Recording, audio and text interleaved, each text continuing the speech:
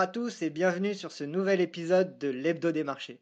Comme toutes les semaines, on se retrouve avec Antoine Fraissoulier, notre analyste de marché et responsable de recherche chez Itoro. Alors, ça fait un mois qu'on n'a pas fait de podcast, ça a été un peu, un peu long, même plus un trimestre qu'on n'a pas fait de ce, podcast. Euh, il y a eu pas mal de choses qui se sont passées sur les marchés, hein, notamment en, France, avec un, CAC 40 poussé par les valeurs du luxe qui attend un, un plus, haut, euh, un plus haut historique. Donc tu vas nous parler un peu de tout ça euh, aujourd'hui.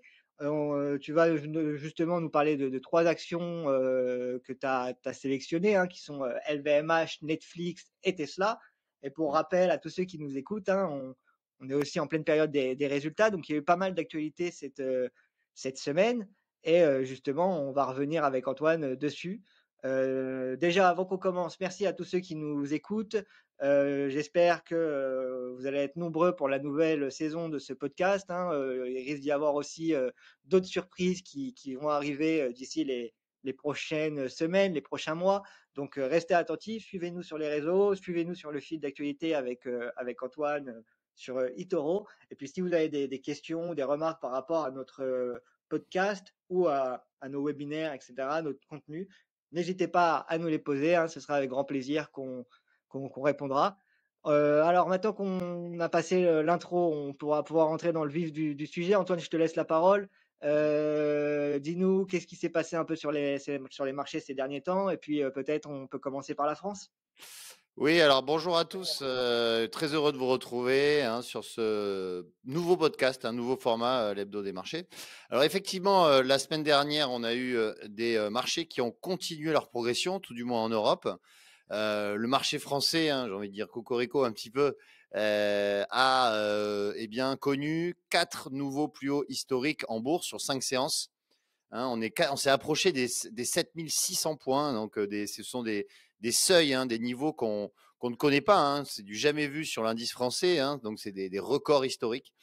Euh, effectivement, euh, ces records ont été portés par les euh, valeurs du luxe, hein, bien sûr, le, luxe hein, qui pèse à peu près 35% euh, de l'indice français, donc un tiers du CAC.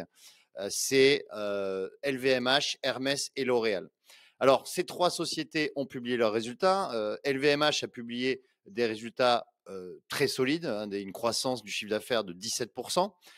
L'Oréal a aussi publié aux alentours des 17% et Hermès a la particularité d'avoir publié 24% de croissance. Donc on voit que c'est des croissances à deux chiffres pour toutes ces entreprises.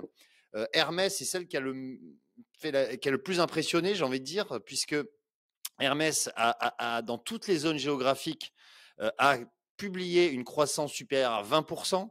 Hein, donc, en dépit des incertitudes hein, économiques et géopolitiques, eh bien, toutes les zones géographiques ont réussi à, progresser. Contrairement à LVMH, par exemple, où LVMH a eu un peu de mal aux, États-Unis, hein, où il y a une croissance entre guillemets que de 8%. Euh, mais effectivement, on va dire que le luxe ne connaît pas la crise, car en fait, les clients sont fidèles à leur marque. Donc il y a vraiment une idée de fidélité à sa marque, ce qui, porte à chaque fois, quels que soient les prix, hein, puisque quand même, ce sont des sociétés qui augmentent leur euh, leur coût, hein, qui augmentent le prix final, le prix final sur les clients. Et malgré cela, eh bien, euh, la clientèle est toujours présente. Et donc, euh, ça porte aussi les actions de ces trois grands groupes au plus haut historique. Euh, comme le CAC 40. Donc, euh, on a un Hermès qui, a, euh, qui est pas loin des 2000 euros l'action maintenant. LVMH qui aujourd'hui même, hein, le jour où on enregistre ce podcast, a atteint les 500 milliards d'euros de capitalisation boursière. C'est la première fois en Europe qu'un groupe atteint ce niveau. Et euh, on a Hermès dans une moindre mesure, mais bon, qui est quand même, ça pèse 200 milliards, Hermès, qui, euh, pardon, euh, L'Oréal, excusez-moi, L'Oréal qui, elle aussi, euh, a atteint des plus hauts historiques en bourse. Donc, on fait, voilà, tout est, tout est magnifique, tout est rose, euh, les lunettes roses pour, pour euh, ces sociétés. Euh, maintenant, euh, on attend euh, cette semaine, on va, on va y revenir d'ailleurs, les, les, résultats de la tech américaine et les big tech qui vont publier. Donc ça, ça va vraiment donner le là sur les marchés. Donc s'il y a des déceptions, on pourrait avoir quand même, eh bien des des comment des, des replis hein, et des prises de bénéfices, mais pour l'instant on n'en est pas là. Pour effet, l'instant, tout va bien. semaine, ça va être une semaine chargée, hein, parce qu'on a 170 entreprises du S&P qui vont partager, leurs résultats cette semaine, sans compter les entreprises européennes. Donc quand on est en pleine saison des résultats, il y a il y a pas mal de travail et comme tu le disais, donc on a le le luxe et la France qui se portent bien avec, des valeurs du luxe au plus haut et Bernard Arnault qui profite du premier trimestre de 2023 pour, heu, justement passer devant Elon Musk et lui voler la place de l'homme le plus riche, heu, au monde. Alors, il se passe Mmh pas mal de choses euh, avec euh, ah, etc. Euh, les, les résultats de Tesla, Antoine, euh, ils sont bons ou pas? Mais écoute, les résultats de Tesla euh, ont déçu, en tout cas. Euh, on ne veut pas dire qu'ils soient mauvais, hein, bien sûr, parce qu'on est quand même encore sur des, par exemple, un, bénéfice hein, qui dépasse le, milliard de dollars. Euh, mais il est en baisse de 18% le bénéfice au premier trimestre par rapport au premier trimestre 2022. Donc ça, ça déçoit les investisseurs.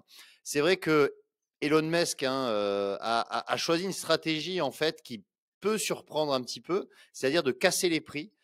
Contrairement à, toutes les, on va dire, bah, quasiment toutes les sociétés qui augmentent leurs prix hein, des produits finis pour leurs clients, lui, Elon Musk baisse les prix de ses, véhicules électriques pour en fait garder ses parts de marché dans l'électrique et casser un petit peu les ventes hein, de ses concurrents.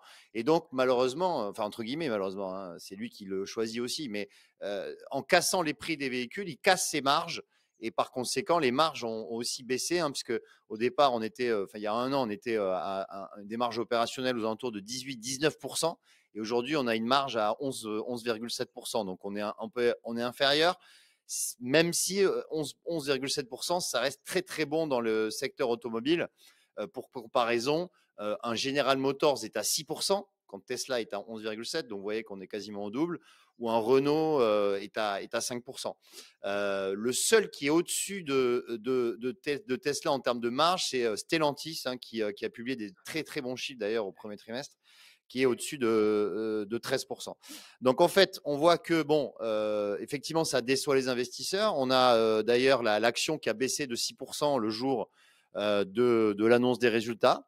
Euh, on a un titre Tesla qui, qui baisse hein, de quand même de, euh, de depuis deux mois, même s'il reste en, hausse depuis le début de l'année quand même. Hein, il ne faut pas pas tout jeter non plus. Hein. Tesla, ça reste quand même une très belle société euh, qui a qui, a quand même un chiffre d'affaires qui augmente aussi. Euh, voilà, donc euh, donc on, c'est plutôt mitigé, on va dire, sur Tesla, mais je pense que il faut quand même garder raison garder justement et, euh, et, et, pas ne plus être trop pessimiste sur quand même le leader mondial des véhicules électriques. Non, bien sûr, même s'il peut y avoir, tu parlais de Stellantis, qui est un, un gros groupe euh, fusion euh, de Peugeot, Citroën et, euh... et, et, et, Fiat Chrysler. Et Fiat Chrysler, en effet. Ouais.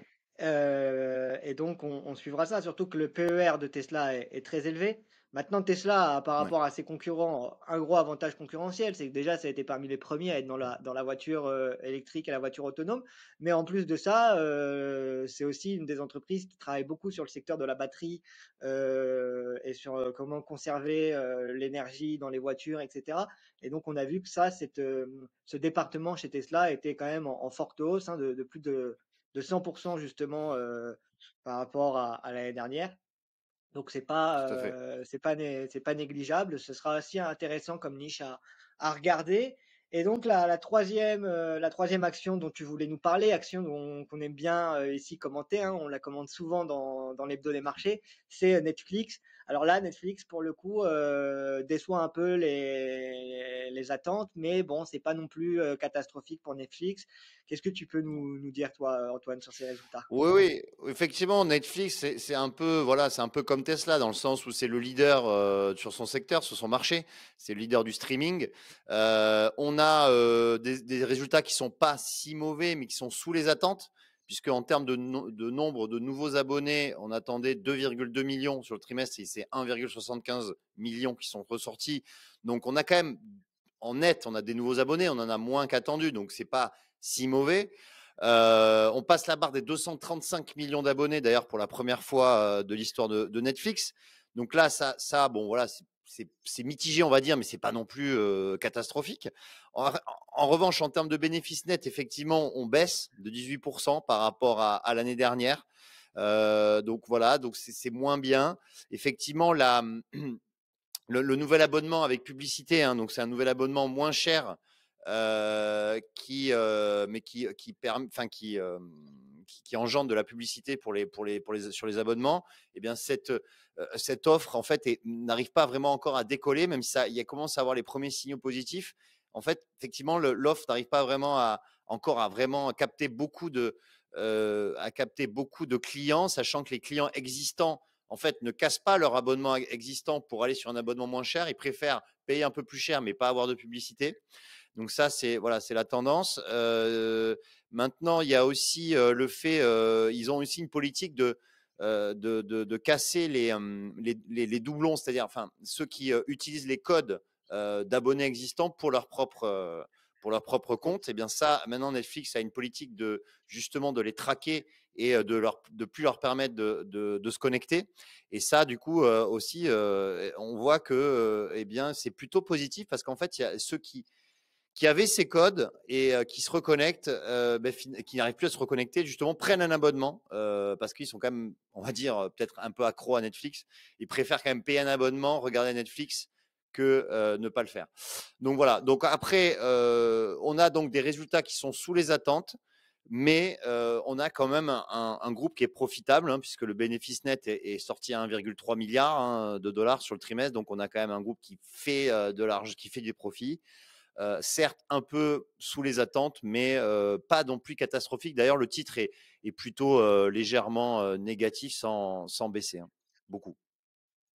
Eh ben, écoute, on suivra ça. Moi, ce qui m'intéresse et ce que je regarde de près avec Netflix, il y a Mmh. deux choses. Il y a leur offre de cloud gaming qui devrait arriver d'ici les, prochaines années, mais qui commence petit à petit à, à voir le jour. et puis la deuxième, c'est aujourd'hui Netflix, c'est 14% du trafic Internet mondial. Mais la concurrence arrive aussi à, à, grands pas avec notamment Disney+, Amazon Prime, etc. Donc on risque d'avoir dans le streaming une guerre des géants ça sera aussi intéressant de regarder. Peut-être que Netflix, au fur et à mesure des années, va, perdre sa place de, leader par, rapport à un autre service. Donc, il faudra, faudra surveiller ça. Mais Netflix, qui, bon, les résultats, il n'y a rien de, négligent à, pour le moment. Il n'y a aucun signe inquiétant. Si vous êtes investisseur dans, dans Netflix, vous pouvez euh, vous rassurer, il n'y a rien eu de, catastrophique euh, annoncé lors des, résultats. Euh, écoute, on arrive à la fin de ce, podcast, Antoine. on suivra maintenant et on en discutera de toute façon la semaine prochaine aussi. On continuera à suivre l'inflation. On continuera à suivre les politiques monétaires des banques centrales. Donc, on, discutera peut-être un peu de ça aussi la, semaine prochaine. Et puis, on souhaite à tous nos auditeurs qui nous écoutent, déjà, on vous remercie de nous écouter. Euh, on vous le répète, n'hésitez pas à nous suivre euh, et à nous dire comment on pourrait nous améliorer, les valeurs que vous souhaiterez voir, euh, etc. et puis, et puis voilà, on vous souhaite à tous de bonnes vacances parce que pour la plupart des, gens sont en vacances scolaires ou sont partis soit dans le sud, soit ailleurs, mmh. profiter en, famille. Et donc, juste pour conclure mmh. le podcast de cette semaine, n'oubliez pas que pas trader, c'est trader aussi. Et mmh. donc, voilà, c'était la, la mmh. phrase de fin. Merci à tous de nous avoir écoutés. Merci Antoine pour ton, pour ton temps. Et puis, on vous dit à la semaine prochaine pour un, pour un nouvel épisode. Merci. À bientôt.